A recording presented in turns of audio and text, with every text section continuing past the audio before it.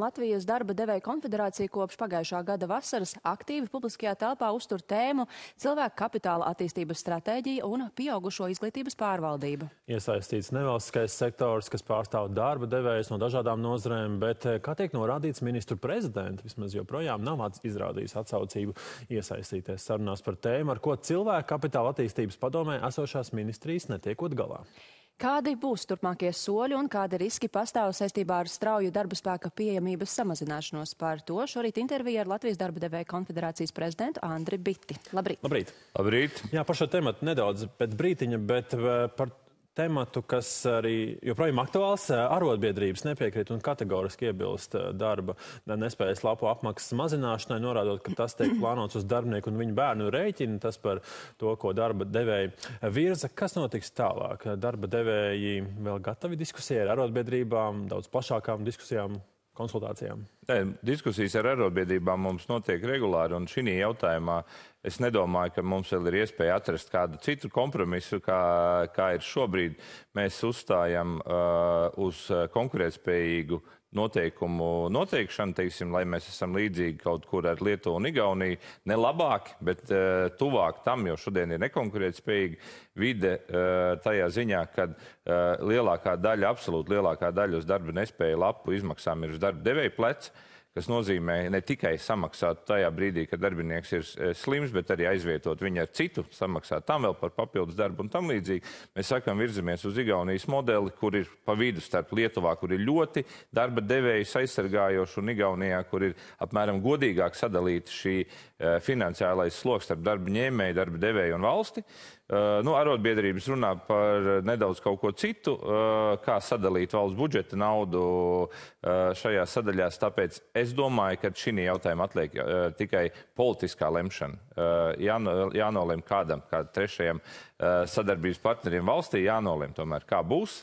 Uh, un uh, tas jautājums tiks atrisināts. Bet, starp citu, man liekas, ka vakar gan pie mums intervijā šis virzību iespējams uz Igaunijas modeli netika izslēgts kā, kā iespējamība, bet savukārt, kas izskanēja arī tāds komentārs, apgalvojums, ka daļa darba devēju uh, ir, kas nenodrošina pienācīgas apstākļus saviem darbiniekiem, gan darba organizācijā, gan arī, ja mēs runājam par veselības apdrošināšanu kontekstu, um, dažādu vajadzību nodrošināšanā. Kāds jūsu komentārs ir par to? Protams, visi darba devēji nav vienādi bet es teikšu tā, ka pēdējos gados ļoti straujā tempā attīstās visu pārējo labumu kopums, kā jau standarta eh, darba attiecību modelis transportēšana uz un no darba, ēdināšana darbā uz, uz darba devēja rēķina, eh, veselības apdrošināšana samlīdzīgi. Tā sistēma attīstās uz pozitīvo pusi, un skaidrs, ka nebūs vienmēr visi vienādi, un katrā kolektīvā nav iespējams, teiksim, varbūt nodrošināt šodien to gan finansiālu apstākļu dēļ, gan citu, bet kopumā šī sistēma attīstās, un, un jāsaka,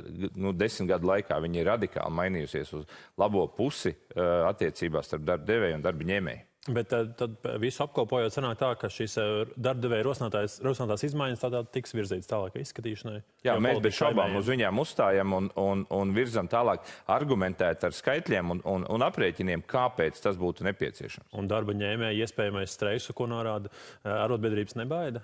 Nu, arotbiedrības mums draud ar streiku jebkurā gadījumā, kad tikko viņi nepiekrīt kādam no jautājumiem, tā kā nu, tas ir jāatstāj viņa ziņā. Bet, eh, nu, tātad, kā jūs sākumā teicāt, dialogs faktiski vairs par šo nav baigi iespējams. Ne, nu, es domāju, ka mēs esam sasnieguši tādu līmeni, ka no vienas puses mums īsti līdz galam nav skaidrs un, un nevaram saņemt arī skaidrumu no arotbiedrībām par to, ka viņas piekrīt, kā jūs teicāt, Igaunijas modelim, bet, un tad aiziet uh, uh, pagarš nesaprotams teksts, ko vajadzētu mainīt, ko mēs īsti nesaprotam, ko, ko jūs gribat. Tāpēc uh, mēs turpināsim sarunas bez šaubām. Ja, trīspusējā uh, līmenī gan ar valsti, gan ar arotbiedrībām, lai pārliecinātu par to, ka mūsu modelis būtu pareizākais un godīgākais teiksim, mm -hmm. attiecībās starp darba devēju un darba ņēmēju. Nu, katrai pusē tā neskaidrība droši vien savā izpratnē. Bet par jau pieteikto tēmatu, jā, cilvēku kapitāla attīstības stratēģija un pieaugušo izglītības pārvaldība. Kā noprotams, ir iebildumi par to, ka cilvēku kapitāla attīstības padomē esošās ministrijas, ekonomikas ministrija, izglītības un zinātnes ministrija, atklājības ministrija netiek galā. Par ko konkrēti ir uh, iebildumi šajā? Tātad kopumā iebildums vai tas secinājums, no kā radās mūsu priekšlikumi, ir tādi, ka gan iepriekšējā plānošanas periodā, iepriekšējos sešos gados, šajā procesā gan bezdarbnieki, gan pieaugušo izglītībā kopumā tika iztērēti, iztērēti apmēram 160 miljonu eiro naudas šī plānošanas periodā dažādās programmās, ko koordinē dažādas ministrijas, ir apmēram ap 110, 120. Grūti pateikt to kopējo skaitu, bet miljonu eiro paredzēt. Mazāk, bet mēs sakam, ka šīs naudas tērēšana, tieši es akcentēju vārdu uz tērēšanu, nenodrošina nekādu pozitīvu efektu Tā nauda tiek sadedzināta, izdedzināta bez konkrēta mērķa, ko mēs gribam panākt. Kur tad viņi pazūd? Nē, viņi, viņi tiek apmācīti dažādos kursikos, kā moderni tagad teikt, eh, cilvēki uh, nesaistītās lietās ar viņu pamat uh, nākotnes vai esošo nodarbošanos. Ja? Sasaist ar darba tirgu un šīm apmācībām nav. Mēs sakam, ka jābūt vienam atbildīgiem, kas koordinē šos jautājumus, cik un kurš tiks apmācīts. Tāda ap... nav?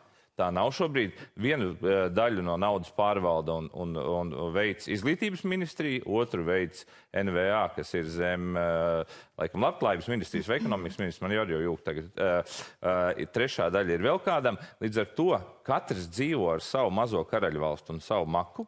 Katrs veido uh, savas programmas, kas bieži vien pārklājās.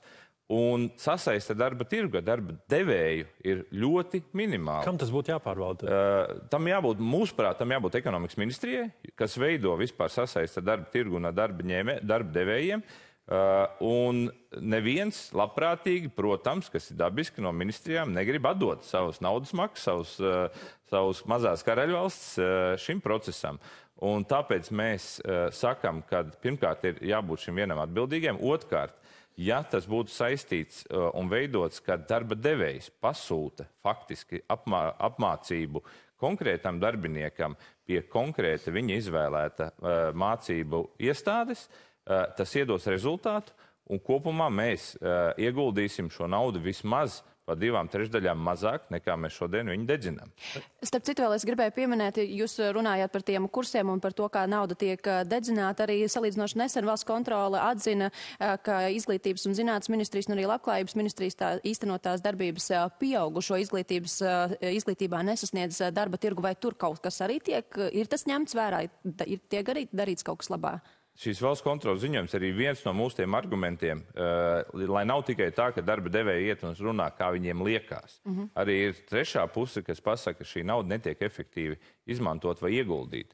Mēs runājam, ka vajadzētu viņu ieguldīt, investēt, lai gan darba devējiem, gan darba ņēmējiem pēc tam būtu labāk, viņiem būtu lielāks kompetences, lielāks atalgojums. Šobrīd uh, process notiek procesa dēļ, nevis uh, uz kādu konkrētu balstītu mērķi. Eh, mēs sakām, pirmkārt, ir viens atbildīgais jābūt, otrkārt, ir jābūt sasaistē darba devēja, treškārt, ir jābūt izmērāmiem mērķiem. Tik un tik cilvēks no katras konkrētās darba, darbinieku grupas mēs gribētu uh, pārmācīt, apmācīt nākošajā periodā uh, ar augstāku kvalifikāciju. Gan no pensionāriem, pieņemsim, gan no ilgstošiem bezdarbniekiem, gan no uh, mazkvalificētiem uz augstāku kvalifikāciju. Jābūt mērķim, ko mēs gribam sasniegt, un tad tajā tiek mhm. investēta nauda. Šobrīd visi peld, uh, kā sanāk, jo naudas šī jomā ir pārāk daudz. Un kā jau minējāt, jā, ekonomikas ministrijai, jūs, prāt, vajadzētu būt galvenajiem šeit, ko saka ministrs? Eh, ministrs ir gatavs uzņemties šo jautājumu. Kas Viņš traucē? tikai cilvēka kapitāla tajā komisijā, vai kā viņi sauc, eh, nespēja vienoties, ka pārējais ministrs negrib atdot. Tāpēc mēs vērsāmies pie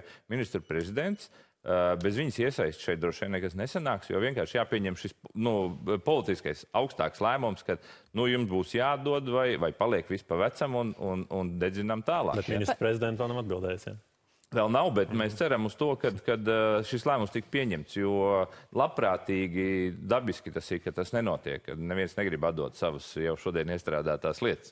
Par kādiem riskiem mēs runājam? Protams, viens, ko jūs minējāt, tad budžeta naudas tērēšana, bet ja mēs runājam tiešām par darbspēku pieejamības samazināšanos, ar ko tas draud realitātē? Nu, realitātē tas jau šodien uh, ir redzams, darbspēks pietrūkst. Nu, nu, ļoti ir paradoxāla situācija. No vienas puses ļoti pietrūkst darbspēks gandrīz visās jomās, no otras puses Latvijā ir lielākais uh, ekonomiskās attiecībās neiesaistīto cilvēku īpatsvars ļoti liels. Tie, kas nav, nemācās vai nestrādā vienlaicīgi. Ja, teiksim, ja mums ekonomika, lai attīstītos, kā finanses ministrija aprēķinājis, ir nepieciešams kā minimums 900 tūkstoši uh, darba attiecībās esošu cilvēku no 1,8 miljoniem, apmēram 50%. Tad šobrīd, teiksim, darbspēks, uh, darba tirgu iesaistīto skaits ir nedaudz zem 800 tūkstošiem. Uh, tas nozīmē, ka ekonomika nevar attīstīties. Uh, mēs sakām, ka mums ir jāpaņem, un ko mēs iesniedzām arī gan finanses ministrijai, gan ekonomikas ministrijai, uh, plānu, kā no katras darb, darb, potenciālo darbinieku grupas, kā pensionāri, ko varētu motivēt atpa, atpakaļ atnākt darba tirgu ilgstoši bezdarbnieki, studenti un strādājoši, mācās, cilvēki, kas mācās cilvēki ar invaliditāti un citas grupas. Kā, arī ēnu ekonomikā nonākuši. Arī, arī ēnu ekonomikā, kas ir ar parādiem mm. lieliem un, un šodien uh, darbojas pelēkā uh, zonā.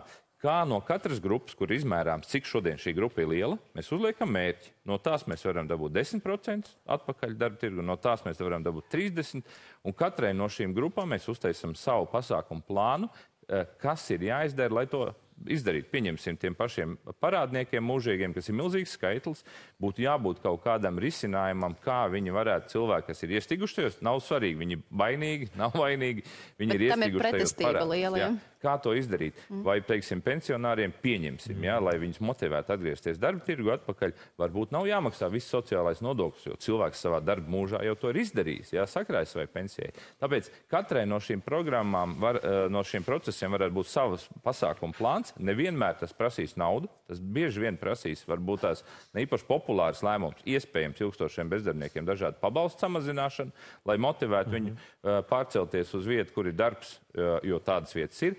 Līdz ar to tas ir panākams lietas. Un jāatcerās viena lieta, lai cilvēkiem tas nebūs viegls uzdevums, ja, bet uh, katra desmit tūkstoši cilvēku, ko mēs iesaistām atpakaļ darba tirgu, budžetā ienes 100 miljonu eiro gadā. Tas ir milzīgs skaitlis, kur iztrūkst gan medicīnā, mm. gan, gan izglītībā, gan varbūt spējam arī darba spēku nodokļus tad, uh, nolikt normālā līmenī.